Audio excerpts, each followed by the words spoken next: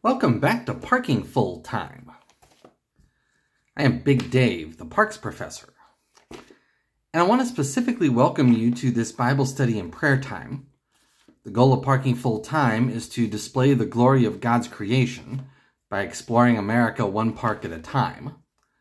But the God who created this world is the same God who sent his Son, Jesus, to die on the cross, pay for our sins, and save this world. And that's what these Bible study videos are designed to highlight.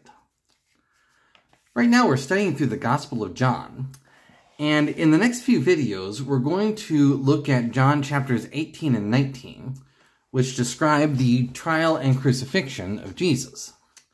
Um, I always get really emotional when I read and study this text. Uh, one of my sources wrote, uh, in these chapters, man did his worst and God gave his best. I like that. So let's start reading here in verse uh, in chapter 18. Uh, John chapter 18, so it says, uh, When Jesus had spoken these words, he went forth with his disciples over the brook Kedron, which, where was a garden, into the which he entered, and his disciples. And Judas also, which betrayed him, knew the place, for Jesus oft times resorted thither, he went there with his disciples. Um, the Gospel of Mark gives us some more information about um, some things that happen here than John does. So I'm not going to turn there, but I'm going to write down a reference here. Um, and the reference I'm going to write down is Mark chapter 14, verses 32 through 42. Mark chapter 14, verses 32 through 42. And again, that gives us some more information about some other things that happen here that John doesn't tell us about. Uh, for example, John doesn't specifically tell us which garden they went into. Uh, it just says they went across the brook Kedron, where was a garden. But on the east side of the brook Kedron, on the other side of the brook Kedron, uh, is the Mount of Olives. And on the side of the Mount of Olives is the Garden of Gethsemane.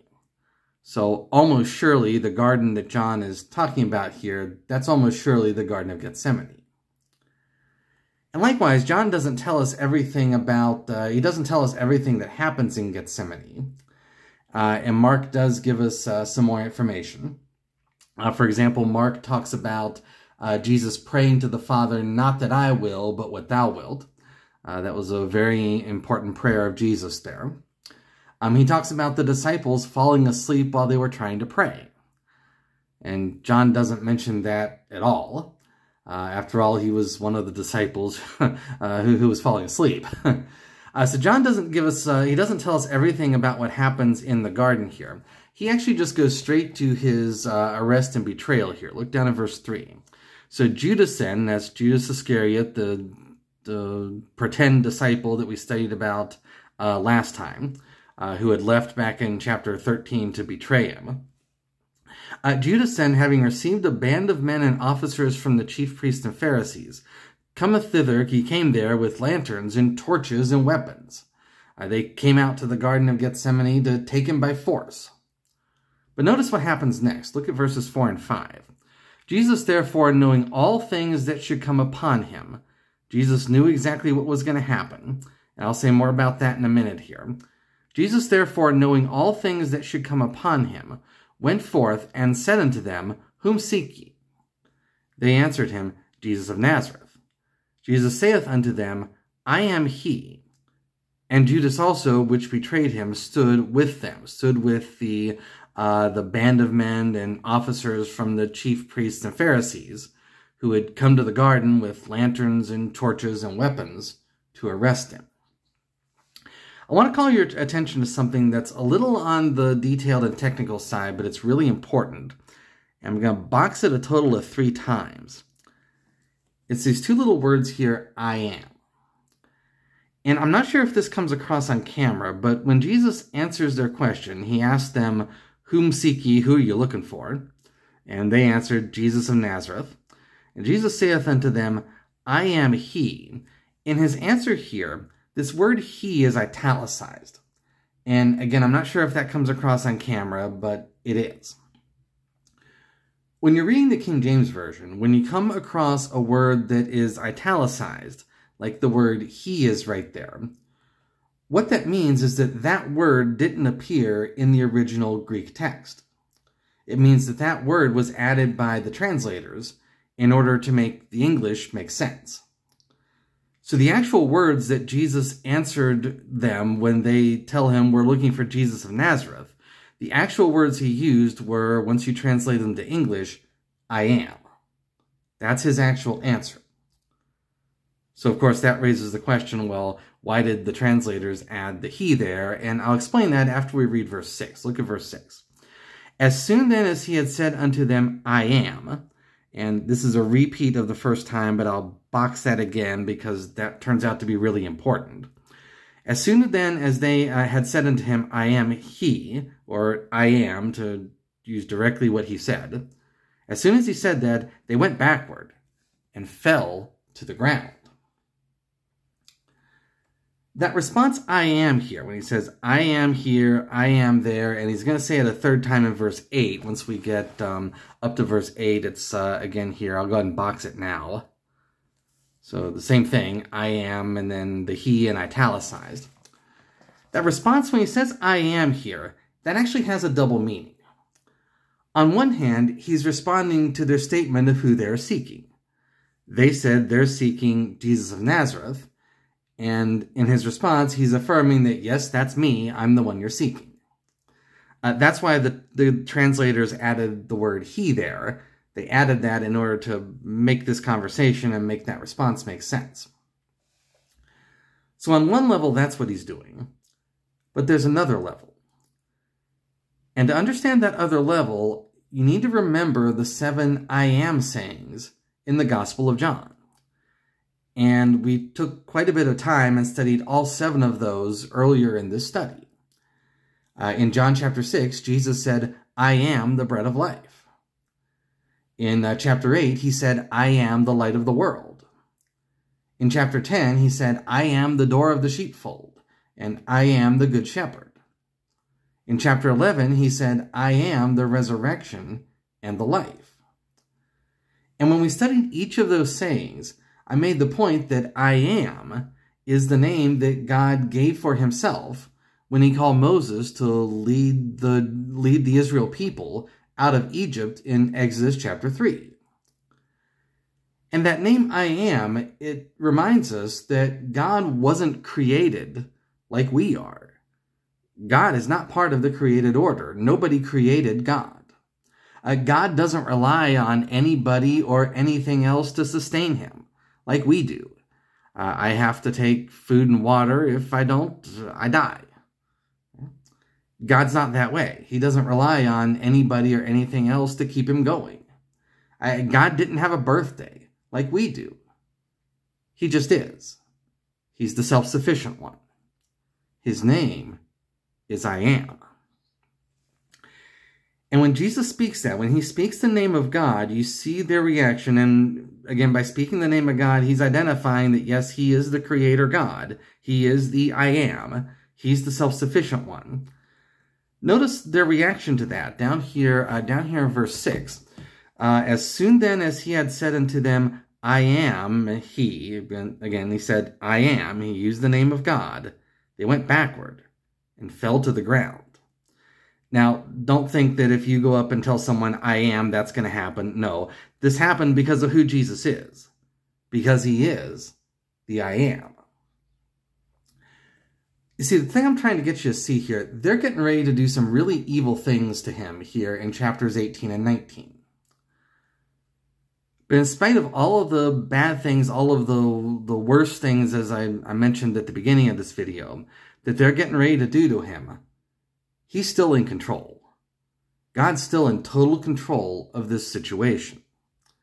I've heard people say, my sins killed Jesus, or I killed Jesus. No, you didn't. Nobody killed Jesus. He willingly died. He knew we owed a death payment, and he willingly died to pay that death payment. You see, the Bible says we've all sinned. We've all come short of the glory of God. Our sin separates us from God. We've all done things that we shouldn't have done, done things He's told us not to do, and failed to do things He has told us to do. It also says the penalty for that sin is death. The wages of sin is death.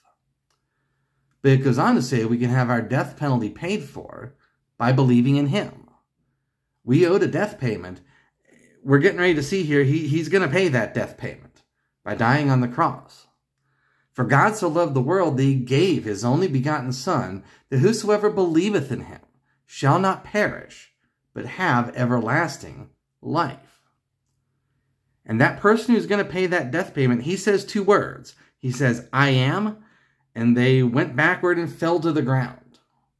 Now you'd think maybe at this point that they'd realize that, you know, after this happens, after he says two words and they go back and fall on the ground, uh, maybe you'd think that they'd realize that, you know, trying to arrest this guy, you know, may- maybe this isn't such a great idea. um, but no, they're soldiers. They do or try to do what they're commanded to do. And all these evil things that they're getting ready to do to him here, they couldn't have done any of those things. Except he allowed it.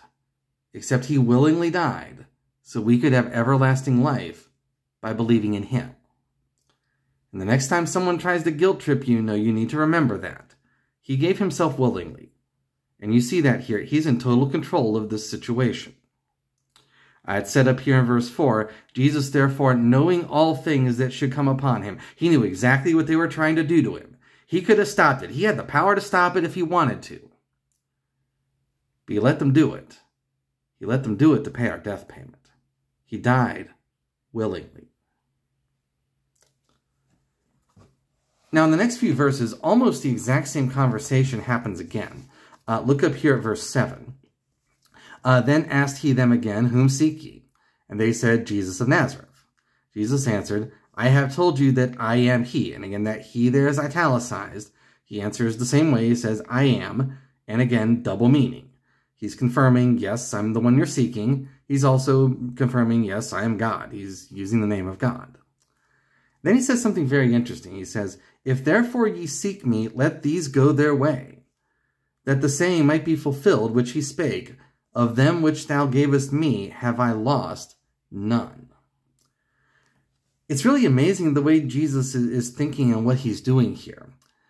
Um, he's only hours away from the cross, and yet he's still showing his concern for his disciples. He says, uh, here in verse 8, he says, If I'm the one you're seeking, let these other people who are with me and the other people who are with him, that would be his disciples, he says, let them go. You're going to arrest me? Okay, arrest me. Let them go. And more or less, they do. They let the disciples go. Let me write down a reference that uh, we studied a few videos ago. Uh, John chapter 13 and verse 1. John chapter 13 and verse 1. Uh, this was at the very beginning of the, um, the Last Supper discourse uh, that we spent several videos studying. And it's referring to Jesus and his disciples. Uh, what John chapter 13 verse 1 says, it says that he loved them to the end. And I unpacked that phrase a few videos ago. Uh, that phrase means he loved them to the uttermost. He loved them as much as anyone could love anyone. And you see that here. He doesn't want them to get arrested and go through the suffering that he's about to go through, at least not yet. He says, let them go. And basically, the soldiers do. The soldiers let them go. Now, next comes the interesting event. Look at verses uh, 10 and 11 down here. Uh, verse 10, it says, Then Simon Peter, having a sword, drew it. Uh, Simon, Simon Peter, Peter's going to do a lot of things here in this text today. Here's the first thing he does. Then Simon Peter, having a sword, drew it, and smote the high priest's servant, and cut off his right ear. The servant's name was Malchus. Then said Jesus unto Peter, Put up thy sword into the sheath.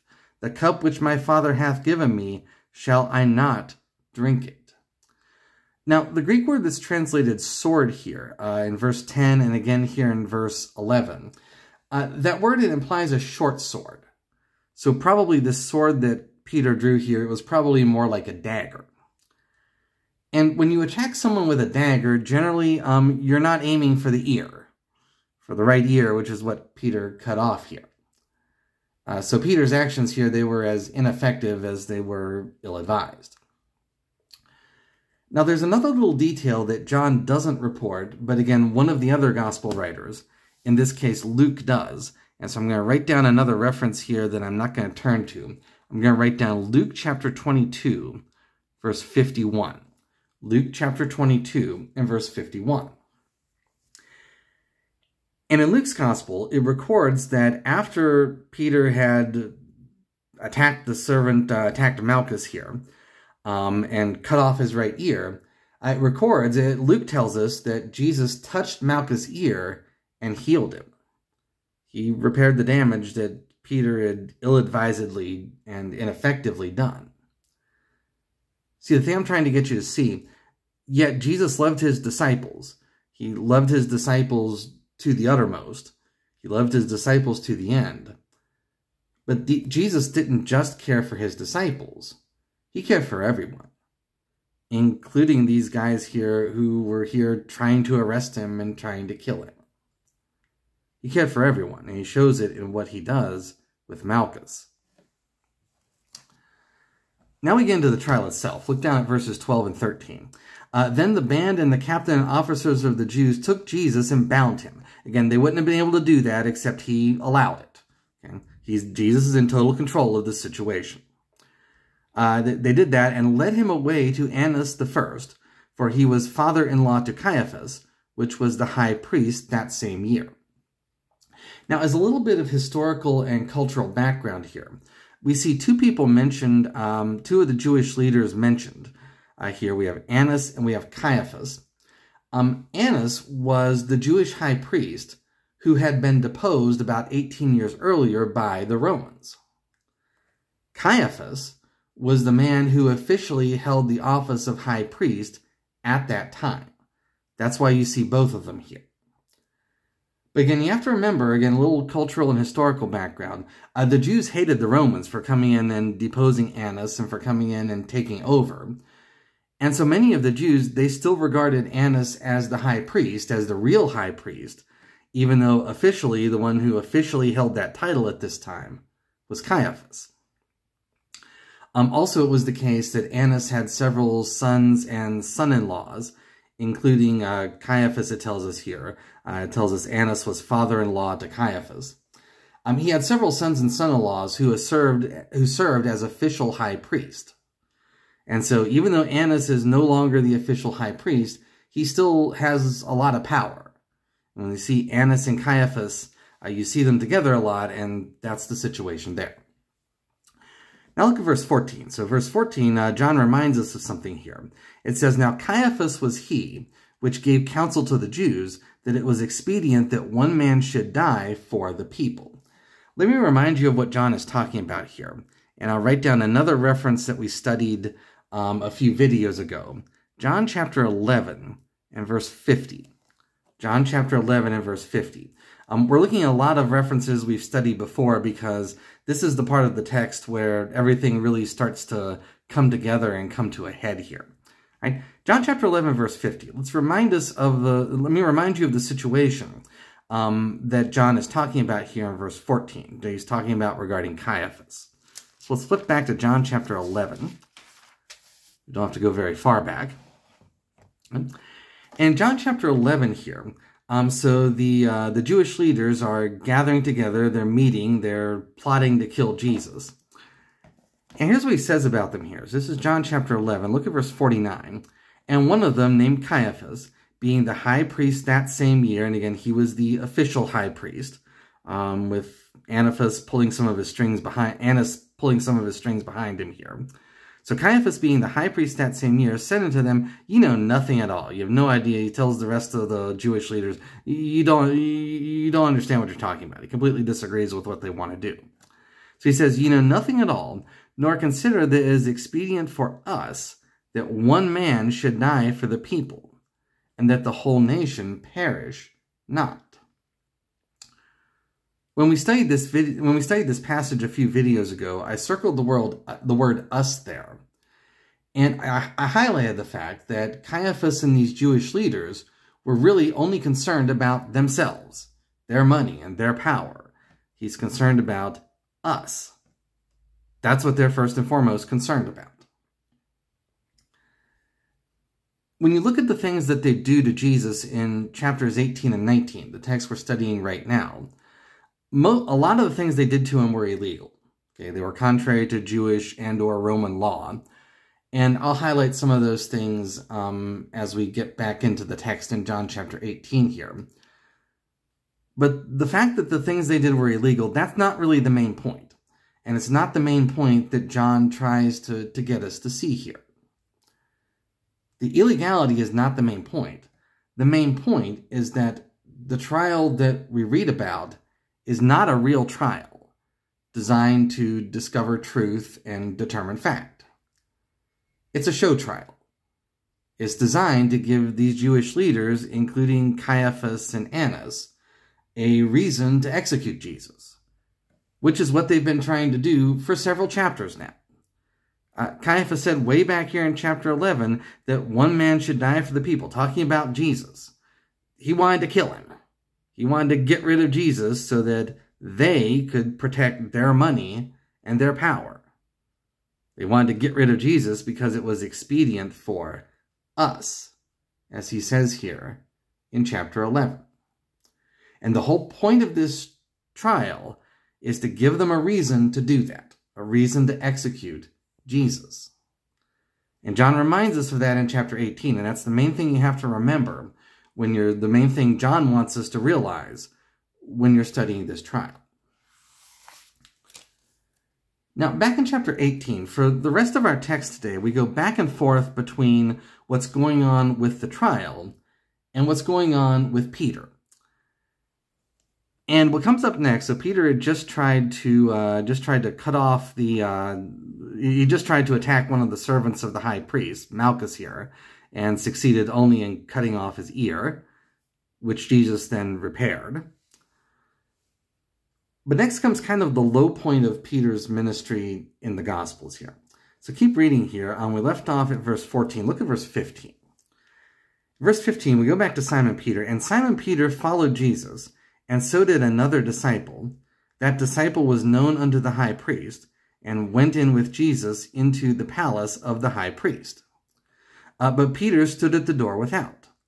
Then went out that other disciple, uh, which was known unto the high priest, and spake unto her that kept the door, and brought in Peter. Um, John doesn't specifically tell us who this other disciple that's mentioned here. Um, he's mentioned twice. Um, he's mentioned once up here in verse 15, and so did another disciple. This other disciple is mentioned here also in verse 16. Then went out that other disciple. Uh, John doesn't directly tell us who that other disciple is. Traditionally, most people think it's John, the writer of this gospel. Uh, I agree with that, but that's too technical to get into uh, on this video. Um, but now Peter starts, now comes the low point of Peter's ministry. Look at verse 17.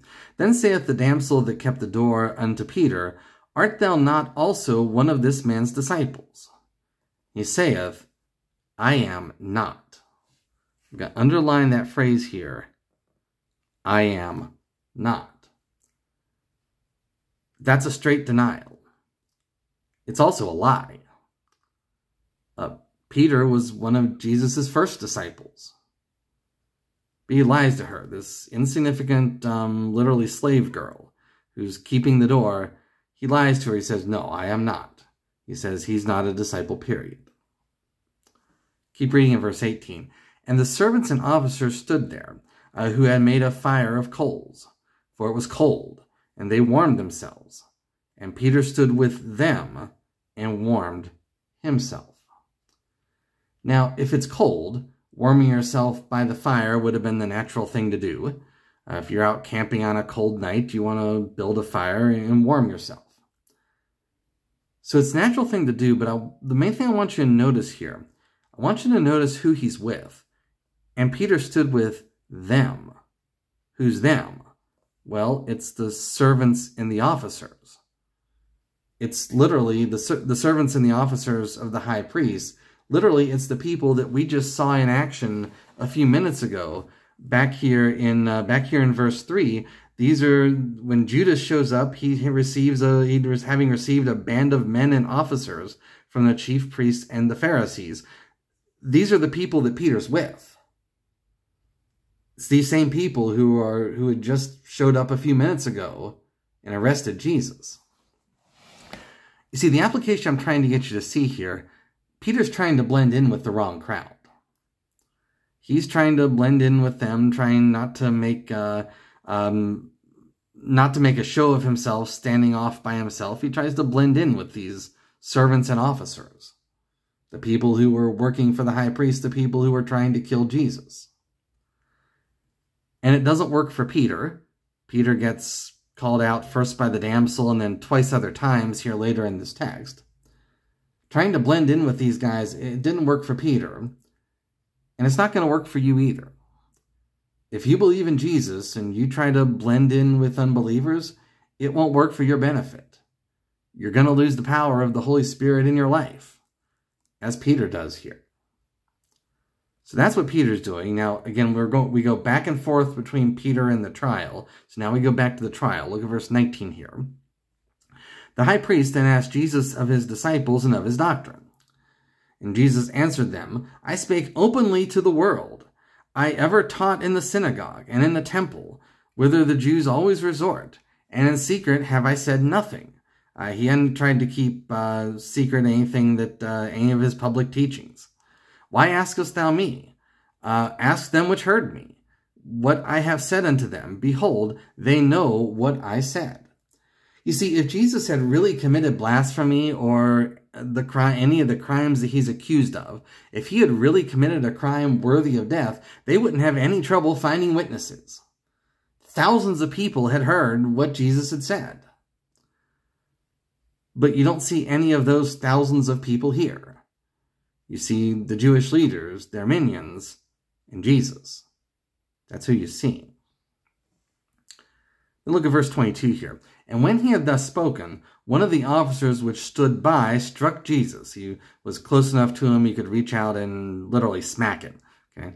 Uh, one of the officers which stood by struck Jesus with the palm of his hand, saying, Answerest thou the high priest so? Uh, they slapped him with an open hand. Now, it wasn't legal for them to do that at this point in the proceedings, but again, that's not really what's important. What's important is this wasn't a real trial. This was a show trial. Okay. Jesus answers again, verse 23. Jesus answered him, If I have spoken evil, bear witness of the evil. But if well, why smitest thou me? Now Antipas had sent him bound unto Caiaphas, the high priest.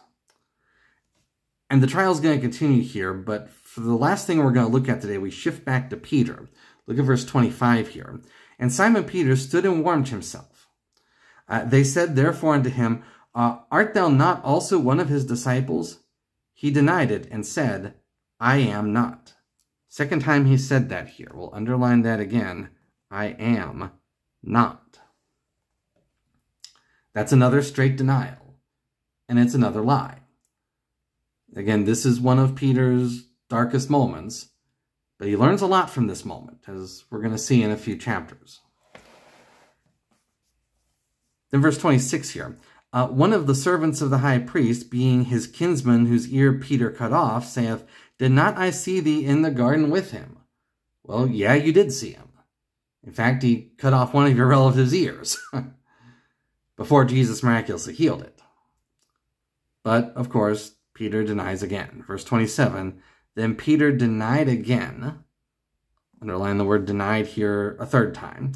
Then Peter denied again, and immediately the cock crew. A couple of other things I want to mention here. Um, uh, and a couple of references I'm going to write down but not turn to. Uh, one of them is uh, Mark chapter 14, verse 71. I'll write that here. Mark chapter 14, verse 71. Again, Mark gives us a little more information than John does. Uh, John just says, then Peter denied again. Uh, Mark tells us that he did more than just say, I am not, more than just a, a straight, simple denier, uh, denial. Uh, Mark says that he began to curse and swear. Uh, Mark says that he began saying, I know not this man of whom ye speak. That is, he said, I am not, with emphasis, with conviction.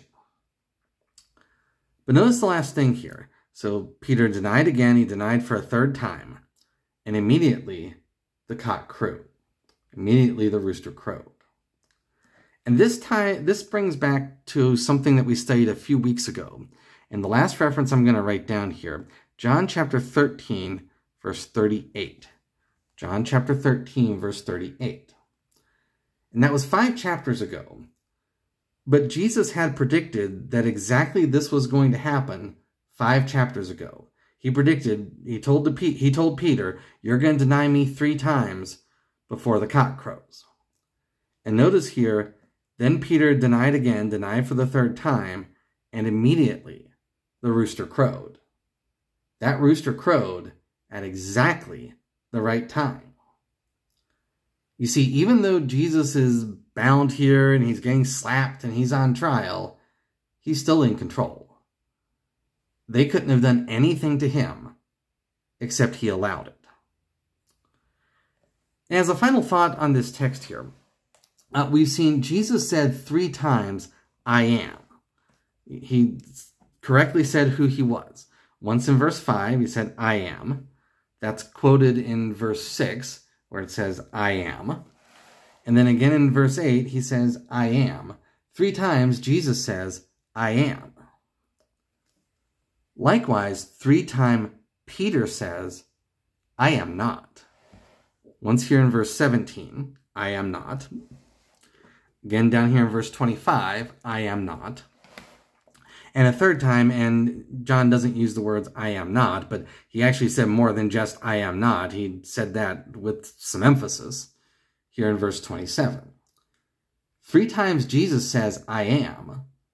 Three times Peter, incorrectly, he lies, he says, I am not. And so my question is this final, as my final thought on this text here, which is it for you? Are you an I am, or are you an I am not? Are you an I am? Do you believe that he is the Son of God and God the Son? Do you believe that he paid the death payment for your sins? Or do you reject him? Do you deny who he really is? Are you an I am not? I hope you're an I am. And if you have believed in him, I hope you're an I am with what you do. Are you with the things that you do, with how you're following him? Are you an I am or an I am not? Uh, I'm trying to be an I am. I don't get it right all the time, but I try to follow him. I'm trying to be an I am. I hope you're trying to be an I am too.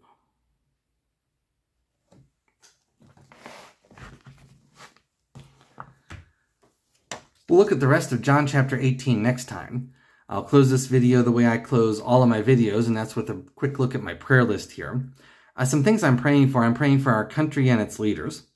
I'm praying that more people will believe in him, that more people will choose to be I ams and recognize him for who he is. I'm praying that for power and protection for preachers of the gospel, for people who are trying to persuade men and trying to persuade people to be I ams. I'm praying that new believers will grow.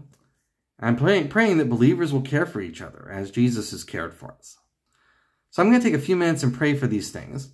I hope that you will too. Until next time, I am Big Dave, the Parks Professor, for Parking Full Time. Have a great afternoon. Take care, and Lord bless.